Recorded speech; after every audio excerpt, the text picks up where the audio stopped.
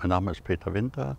Ich bin seit ca. 40 Jahren im Katastrophenschutz, bin beim Roten Kreuz aktiv, die letzten 25 Jahre immer in Führungspositionen und habe mir dann, weil wir auch hier in Rheinnähe wohnen und schon mal Hochwasser hatten, äh, gedacht, ach ja, es wird so viel über Katastrophenschutz gesprochen, über Vorsorge. Bin ich mal hingegangen und habe mir selbst mal diese Campingküche oder die Kofferküche gebaut.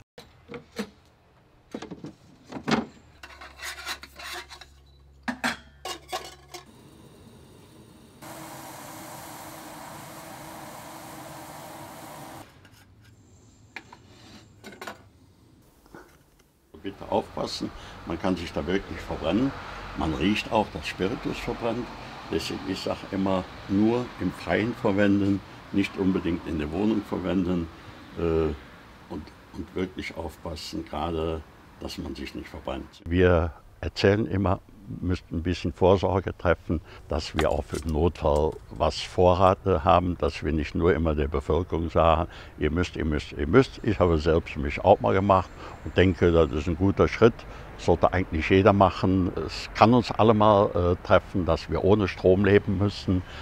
Das, die Auswirkung braucht gar nicht so stark zu sein. Aber wenn kein Strom mehr da ist und keine Kasse im Supermarkt hat mehr auf, können wir nicht mehr einkaufen. Das war der Grund, warum ich jetzt selbst mal dafür gesorgt habe, dass wir einen guten Vorrat haben.